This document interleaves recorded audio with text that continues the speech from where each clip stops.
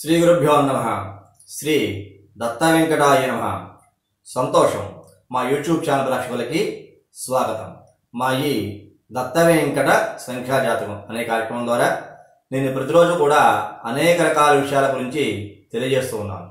అందులో భాగంగా ఈ రోజున మరికొన్ని ముఖ్యమైన విషయాల గురించి తెలియజేస్తాను. నన్ను చాలామంది అడుగుతున్న ప్రశ్న మరి ఒకటి ఉంది. అదేమిటయ్యా అంటే ఏమండి మేము వివాహం చేద్దాం అనుకుంటున్నాము. కాకపోతే మా అమ్మాయి యొక్క జన్మ నక్షత్రము మేము వివాహం చేద్దాం అనుకునేటువంటి అబ్బాయి యొక్క జన్మ నక్షత్రం కూడా ఒకటే. వీ యొక్క అబ్బాయి నక్షత్రము అమ్మాయి నక్షత్రము ఒకటే అయింది కాబట్టి ఒకే జన్మ నక్షత్రాలు అనే సందర్భంగా వివాహం చేయవచ్చిన వాళ్ళకి వాళ్ళు బాగుంటారా అనే ప్రశ్న చాలా మంది నన్ను అడుగుతూ ఉంటారు. మరి వాటికి సమాధానంగానే ఈ యొక్క కార్యక్రమాన్ని నేను చేయడము జరుగుతుంది. వాళ్ళ యొక్క కోరిక మేరకి. అదేమిటంటే అంటే ఇక కార్యక్రమాన్ని ప్రతి ఒక్కరు కూడా మొదల నుంచి చివరి వరకు కూడా చూసే ప్రయత్నం చేయండి. అలా చూడడం వల్ల అనేక రకాల విషయాలు తెలుసుకోవడానికి ఎక్కువ అవకాశం కలుగుతుంది ప్రతి ఒక్కరికి కూడా. ఇది చాలా ముఖ్యమైన విషయంగా కూడా తెలియజేయబడుతుంది మన ధర్మశాస్త్రాలలో. అది ఏమిటయ్యా అంటే వధూవరుడు అంటే పెళ్ళి చేసుకునేటువంటి అమ్మాయి అబ్బాయిది ఒకే నక్షత్రం అయితే కనుక నేను చెప్పబోయేటువంటి ఈ నక్షత్రాలు కనుక ఒకటే నక్షత్రాలు అయినా నిస్సందేహంగా వాళ్ళకి వివాహం చేయవచ్చు సుమా అని చెప్పేసి అని మనకి ధర్మశాస్త్రాల ద్వారా తెలియజేయబడుతోంది. ఆ నక్షత్రాలు ఏమిటయ్యా అంటే అంటే అశ్వని నక్షత్రంలో పుట్టిన అబ్బాయి అమ్మాయి ఎవరైనా సరే వివాహం చేయవచ్చు. అట్లాగే గుర్తుగా నక్షత్రంలో పుట్టిన అబ్బాయిది అమ్మాయిది ఒకే నక్షత్రం అయినా సరే తప్పనిసరిగా వివాహం చేయవచ్చు. రోహిణి నక్షత్రంలో పుట్టిన అబ్బాయి అమ్మాయిది ఒకే నక్షత్రం అయినా సరే రోహిణి నక్షత్రం అయినా సరే వివాహం చేయవచ్చు. అట్లాగే మృగశ నక్షత్రం అబ్బాయిది అమ్మాయిది ఒకే నక్షత్రం అయినా సరే వివాహం చేయవచ్చు. ఆరుద్ర నక్షత్రం కూడా అబ్బాయిది అమ్మాయిది ఈ ఆరుద్ర నక్షత్రం కనుక అయితే వివాహం చేయవచ్చు. పునరోసు నక్షత్రం కూడా అయితే వివాహం చేయవచ్చు. అట్లాగే పుష్యమి నక్షత్రం కూడా అబ్బాయిది అమ్మాయిది ఒకే నక్షత్రం అయితే వివాహం చేయవచ్చు. అట్లాగే మఖా నక్షత్రం కూడా అబ్బాయిది అమ్మాయిది ఒకే నక్షత్రం కనుక అయితే వివాహం చేయవచ్చు. పుబ్బా నక్షత్రము అబ్బాయిది అమ్మాయిది కూడా పుబ్బా నక్షత్రం కనుక అయితే వివాహం చేయవచ్చు. అట్లాగే అబ్బాయిది అమ్మాయిది కూడా ఉత్తరా నక్షత్రం కనుక అయితే వివాహం చేయవచ్చు. అలాగే అబ్బాయిది అమ్మాయిది కూడా హస్త నక్షత్రం కనుక అయితే వివాహం చేయవచ్చు. అట్లాగే అబ్బాయిది అమ్మాయిది కూడా చిత్తా నక్షత్రం కనుక అయితే నిస్సందేహంగా వివాహం చేయవచ్చు. అట్లాగే అబ్బాయిది అమ్మాయిది కూడా విశాఖ నక్షత్రం కనుక అయితే వివాహం చేయవచ్చును అట్లాగే అనురాధ నక్షత్రం కూడా అబ్బాయిది అమ్మాయిది ఇద్దరిది ఒకే నక్షత్రం కనుక అయితే వివాహం చేయవచ్చు. అట్లాగే పూర్వాషాఢ నక్షత్రం కూడా అబ్బాయిది అమ్మాయిది ఒకే జన నక్షత్రం కనుక అయితే వివాహం చేయవచ్చు. ఉత్తరాషాఢ నక్షత్రం కూడా అబ్బాయిది అమ్మాయిది ఒకే నక్షత్రం కనుక అయితే వివాహం చేయవచ్చును. అట్లాగే శ్రవణ నక్షత్రం కనుక అయితే అబ్బాయిది అమ్మాయిది నిస్సందేహ వివాహం చేయవచ్చును. అట్లాగే ఉత్తరాభాద్ర నక్షత్రము అబ్బాయిది అమ్మాయిది ఒకే జన్మ నక్షత్రం కనుక అయితే నిస్సందేహంగా వివాహం చేయవచ్చును. అట్లాగే రేవతి నక్షత్రం కూడా అబ్బాయిది అమ్మాయిది ఒకే నక్షత్రం కనుక అయితే వివాహం చేయవచ్చు. ఇప్పుడు నేను మీకు పంతొమ్మిది నక్షత్రాలు చెప్పాను. ఈ పంతొమ్మిది నక్షత్రాల్లో కూడా పై నక్షత్రాలు. అంటే అశ్వని కృత్తిక రోహిణి మృగశిర ఆరుద్ర పునర్వసు పుష్యమి మఖ పుబ్బ ఉత్తర హస్త చిత్త విశాఖ అనురాధ పూర్వాషాఢ ఉత్తరాషాఢ శ్రవణం ఉత్తరాభాద్ర రేవతి. ఈ యొక్క పంతొమ్మిది నక్షత్రాల్లోనూ కూడా అబ్బాయిది అమ్మాయిది ఒకే నక్షత్రం కనుక అయ్యింది అనుకోండి నిస్సందేహంగా వివాహం చేయవచ్చు. వాటి వల్ల వాళ్ళకి వచ్చేటువంటి ఇబ్బందులు కానీ సమస్యలు కానీ ఏమీ ఉండవు. కాకపోతే వారి యొక్క వ్యక్తిగత జాతకాలు కూడా పరిశీలన పూర్తిగా చేసుకోవాలి.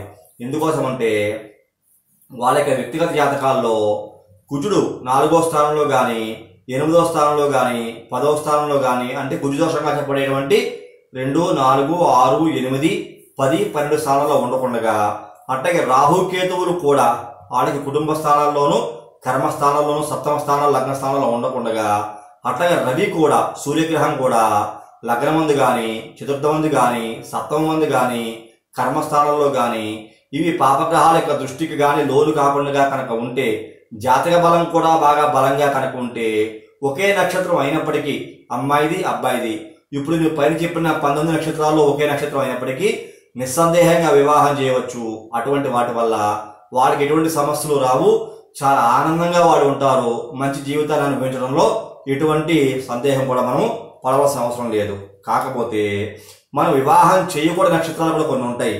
భరణి నక్షత్రంలో పుట్టిన వధూవరుడు అయితే కనుక వివాహం చేయకూడదు. అట్లాగే ఆశ్లేష నక్షత్రంలో వాళ్ళు కనుక అయితే వివాహం చేయకూడదు. స్వాతి నక్షత్రంలో పుట్టిన వాళ్ళు కనుక వివాహం చేయకూడదు. జ్యేష్ఠ నక్షత్రంలో పుట్టిన వారికి కానీ మూలా నక్షత్రంలో పుట్టిన వారికి కానీ ధనిష్ట కానీ శతవిషం కానీ పూర్వాభాద్ర కానీ ఈ యొక్క నక్షత్రాల్లో కనుక పుట్టిన వాళ్ళైతే ఎనిమిది నక్షత్రాలు కూడా అంటే వివాహం చేసుకోబోయేటువంటి వధూవరులది. ఇద్దరిది కనుక ఈ యొక్క ఎనిమిది నక్షత్రాలు ఏదో ఒక నక్షత్రం ఇద్దరిది కనుక ఒకటే కనుక అయితే వాళ్ళు ఖచ్చితంగా వివాహం చేసుకోకూడదు. వివాహం చేసుకుంటే కనుక అనేక రకాల సమస్యలు ఇబ్బందులు కనుక వస్తాయి. వాళ్ళకి జాతక బలం బాగా ఉన్నప్పటికీ ఈ యొక్క నక్షత్రాలు కనుక అయి ఉంటే సమస్యలు రాక తప్పవు సుమా అని చెప్పేసి మనకి శాస్త్రాల ద్వారా తెలియజేయబడుతోంది.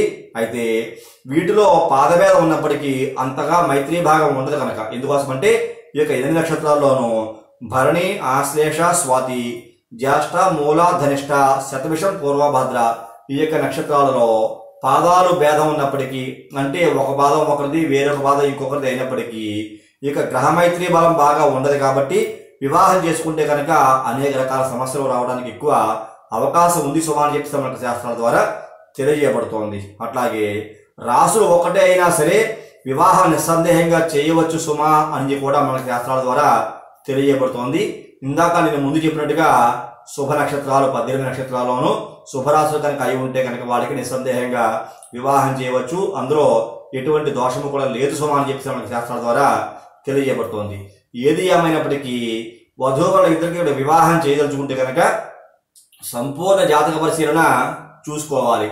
ఎందుకోసమని? అబ్బాయి జాతకంలో కనుక కొన్ని గ్రహాలు బాగా బలంగా ఉన్నాయి అనుకోండి అమ్మాయి జాతకంలో కొన్ని గ్రహాలు వీక్గా ఉంటే ఈ యొక్క గ్రహాల యొక్క శక్తి వల్ల అమ్మాయి గ్రహ జాతకంలో ఉండే గ్రహాల యొక్క నిర్వీర్యతని అధిగమించి వాళ్ళ యొక్క జీవితంలో ఆనందాన్ని కలగడానికి ఎక్కువ అవకాశం కలుగుతూ ఉంటుంది. అట్లాగే అమ్మాయి జాతకంలో అయినా సరే మంచి గ్రహాల యొక్క శక్తులు బాగా ఉన్నాయనుకోండి అనుకూలత బాగా ఉందనుకోండి అబ్బాయి జాతకంలో కొన్ని గ్రహాలు వీక్గా ఉన్నప్పటికీ అంటే గ్రహమైత్రి ఉండడం వల్ల ఆ యొక్క ఆ గ్రహాల యొక్క వీక్నెస్ ఏదైతే మీకు శక్తిహీనంగా ఉన్న గ్రహాల యొక్క బలాన్ని పుంజుకుని వాళ్ళ యొక్క జీవితము ఆనందదాయకంగా ఉండడానికి ఎక్కువ అవకాశాలు కనపడుతూ ఉంటాయి. కాబట్టి గ్రహమైత్రి చూసుకోవాలి నక్షత్రమైత్రి చూసుకోవాలి. ఇద్దరు పేర్లలోనూ కూడా ఏక నక్షత్రాలు ఉన్నాయి కూడా పూర్తిగా మనం పరిశీలించి చేసిన తర్వాత ఆ యొక్క దంపతులకు వివాహం కనుక చేసినట్టయితే నిస్సందేహంగా వాళ్ళు చక్కని పిల్లా పాపలతోటి ఆనందదాయకంగా వాళ్ళ యొక్క సంసార జీవనాన్ని సాగిస్తూ చక్కని సుఖజీవనం చేస్తూ ప్రపంచంలో అందరికీ కూడా మేడ్ ఫర్ ఈచ్ అదర్ అనే పదానికి చక్కని భాష్య వీళ్ళు నిర్వచనంగా ఉంటూ పది మందికి ఆదర్శంగా ఉండేటువంటి దంపతులుగా ఉండే అవకాశాలు ఎక్కువగా ఉన్నాయి సుమా అని చెప్పేసి మనకు శాస్త్రాల ద్వారా తెలియజేయబడుతోంది. కాబట్టి ఎవరైనా సరే వివాహ పొందన ఈ విధంగా చూసుకుని వివాహం చేసినట్టయితే మంచి బలం కూడా చేకూర్చే అవకాశాలు ఉన్నాయి సుమా అని చెప్పేసి ఈ సందర్భంగా నేను మీకు మరి మరి తెలియజేస్తున్నాను. కాబట్టి ఈ కార్యక్రమం చూసిన ప్రతి ఒక్కరూ కూడా లైక్ చేయండి షేర్ చేయండి సబ్స్క్రైబ్ చేయండి. సబ్స్క్రైబ్ చేసిన తర్వాత పక్కన వచ్చేటువంటి గంట బొమ్మను మాత్రం నొక్కడం మర్చిపోకండి. అలా గంట బొమ్మ నొక్కడం వల్ల నేను అప్లోడ్ చేయబోయే ప్రతి ఒక్క వీడియో కూడా మీకు వెంటనే ఇంటిమేట్ చేయబడుతుంది. యూట్యూబ్లోకి వెళ్ళి వెతుక్కోవాల్సిన అవసరం లేకుండా. మరి తదుపరి వచ్చే కార్యక్రమంలో మరిన్ని ఆసక్తికర విషయాల గురించి తెలియజేసుకుందాం. అంతవరకు సెలవు. నమస్కారం.